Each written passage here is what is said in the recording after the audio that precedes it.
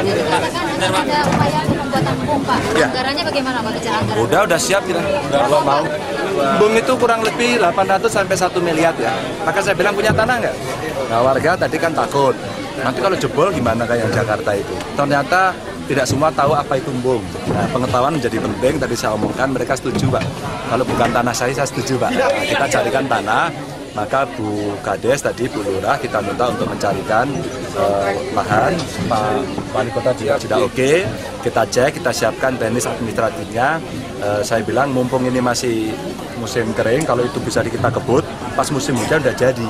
Kalau musim hujan udah jadi, harapan saya banyak air yang bisa ditabung jadi ditampung untuk ditabung maka ini yang bisa dimanfaatkan kalau ya saya eksekusi ya Anggaran berapa? eh, kurang lebih ya 800 sampai 1 miliar Tahun ini berarti. PBD 2014. ya tergantung mereka. Oh, enggak saya bisa carikan banyak apa tempat-tempat eh, sumber keuangan yang bisa dipakai untuk secepat mungkin.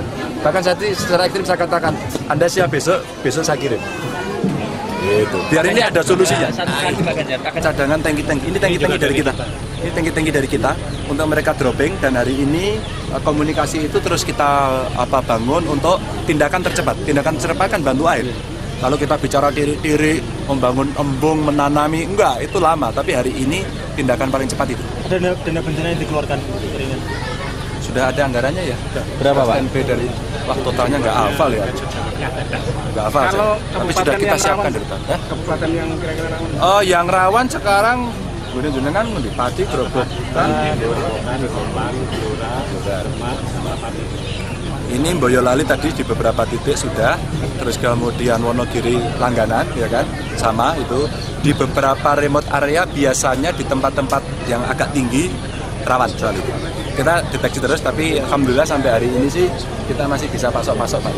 untuk langkah penanganan ke depan gimana Pak? Kenapa? Langkah penanganan ke depan supaya Ada kalau kayak gini saya minta ini sudah puluhan tahun ya nanti ada PDAM ya Pak ya nanti apa namanya beliau lagi siapkan ya dikasih suplai air minum. Jadi ditarik aja. Ini contoh-contohnya. Sambil mencari sumber-sumber yang memungkinkan. Gitu ya? Oke